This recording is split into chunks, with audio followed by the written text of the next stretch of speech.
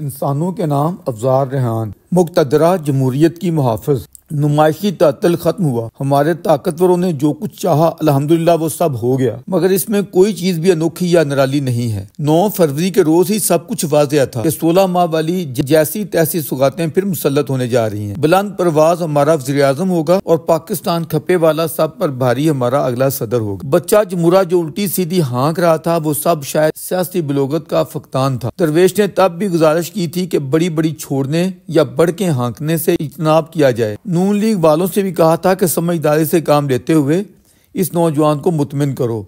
इस तजादस्तान की तो तकदीर में ही इसके योम तसीस से ये लिखा है कि इकतदार के हदीसों लालची, चाहे बाज़ार बुज़ुर्ग हों या नौजवान, जब वो अपनी आई पर आ जाते हैं तो कोई इनका रास्ता नहीं रोक सकता। वो ममालक को तोड़कर भी इकतदार के संघासन पर बराजमा हो जाते हैं। दो मरतबा तजर्बा यहाँ हो चुका रोज अव्वल से यही हमारी रीत चली आ रही है। हमारे इस मुल्क के बदनसीब का अलमिया ये रहा है कि सलाहियत हो ना हो उदा उन्हें बड़ा चाहिए। आउटपुट या डिलीवरी क्या देते हैं, वो इनकी बला से यही तो वो लक्षण है, जिनके कारण ये मुल्क बदनसीब आज इस हालत को पहुँच चुका है कि करोड़ों बासी इस मुल्क से भाग जाना चाहते हैं। हमारे नौजवान यूरोप पहुँचने की शौक में कश्तियों में डूब कर मर रहे हैं और हमारे पासपोर्ट ऑफ़िस में लंबी लाइनें लगी हुई हैं। महँगाई, गुर्बत, भूख और बेरोजगारी ने हमारे अवाम का कचूबर निकाल दिया है। लोग बिजली के बिलों को लेकर मारे मारे फिर रहे हैं। लेकिन अस्करी और सियासी क्यातों के दावे काबिल मुलाजा हैं। उन्होंने कश्मीर और फलस्तीन की जंगें लड़नी है। लाल किले पर सब्ज हलाली परचम लहराना है और पूरी दुनिया में अपना डंका बजाना है। लोग कहते हैं कि यहाँ सियासी बहरान है।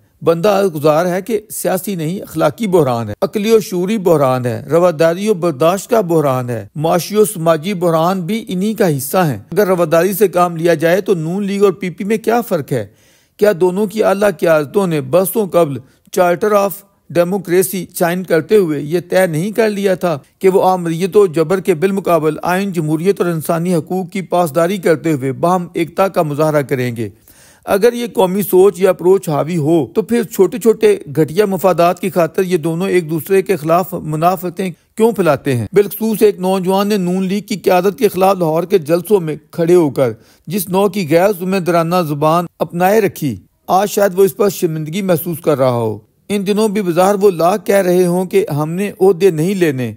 मगर जिनकी खिदमत और खुशनुदी के लिए यहाँ बुलंद प्रवास और बच्चा जमूरा में एक नौ का दंगल बरपा रहता है। उनके इशारा अबरू पर आपने मीठी गाजरें क्या कड़वी गोलियाँ भी खा लेनी है? असल अलमिया तो इनका है जिन्हें ताकतवर मुँह नहीं लगा रहे। हालाँकि हमारे शायद बहुत से सादा लो दोस्त ये ख्याल किए बैठे हों कि वो न जाने कौन से अल्लाह आदर्शों के लिए मुखालफत बाजी पर तुले बैठे हैं। कई ऐसे ना अंजार मिलते हैं जो अपनी खुशगुमानी इस तरह बयान करते हैं की गोया जबरो आमरीत के बिल मुकाबल जमहूरियत या सिविलियन अथॉरिटी मनवाने का इशू खड़े हो गया है। बंदा इनकी खिदमत में अर्ज़ गुजार कि इनका खिलाड़ी या नारी तो वो है जो ताकतवरों को तायात अब्बा मानने के लिए तैयार है। बशर्त ये कि उसे वजारत उजमा के संघासन पर बिठाए रखो। चाहे सारे अख्तियार तुम लोग खुद ही इस्तेमाल कर लो। बस हमारी चमक दमक और आनिया जानिया काबिल मुलाजा होनी चाहिए। हम बुजदार को बिठाए या गोगी को। बस हमारा शुगल मेला लगे रहना चाहिए। ये हमारी फिक्री तनजली की मौजूदा हालत जार। इस वक्त असल खसारे में हमारे मौलाना रह गए हैं, जो अचानक हार की फ्रस्ट्रेशन में वो लाइन ले बैठे जिसमें स्वाय खसारे के कुछ ना था।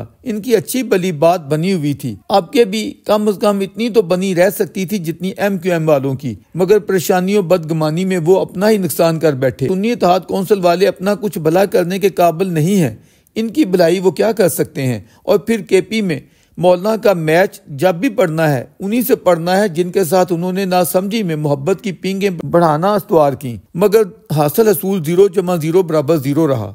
अब धांधली धांधली के खेल पर एका है, मगर कब तक? इस मुल्क के बदनसीब में धांधली एक ऐसा रौला या वेवेला है, जो स्वाय सत्तर वाले इलेक्शन के हर इंतबी मार्के के बाद खूब उछाला गया है। इसके वज़न से इनकार नहीं, लेकिन इसका हासिल असूल दो सूरतों में ही मुमकिन हो सकता है। या तो ऐसे इल्ज़ाम को अदालतों में साबित किया जाए, या फिर अवामी एहतजाजी तहरीक के ज़रिए अपनी सच्चाई मनवाई जाए। अगर आप ये दोनों काम नहीं कर सकते तो फिर प्रोपेगेंडा टूल के तौर पर रोला डालते रहो, लेकिन सिस्टम के साथ चलते हुए जमहूरी तकाजे पूरे करो। ता वक्त के अहदों पर बराजमा होने वाले अपनी अवाम दुश्मन पॉलिसियों और अपने करतूतों से अवामी नज़रों में आज खुद राइंदा दरगाह हो जाए। नून लीग के कायद ने मौजूदा हालात में खुद वजी अजम न बनकर जितना अच्छा फैसला किया है, अपने भाई को इस अहदे पर बैठाकर उन्होंने इतना ही बुरा किया है। अजमुदा रा अजमुदन जहल का यही मतलब है। क्या आपने सोलह माह के तजर्बे से यही सबक सीखा है? आज आपके बिलमुकाबल कोई खिलाड़ी या नारी पॉपुलर नहीं।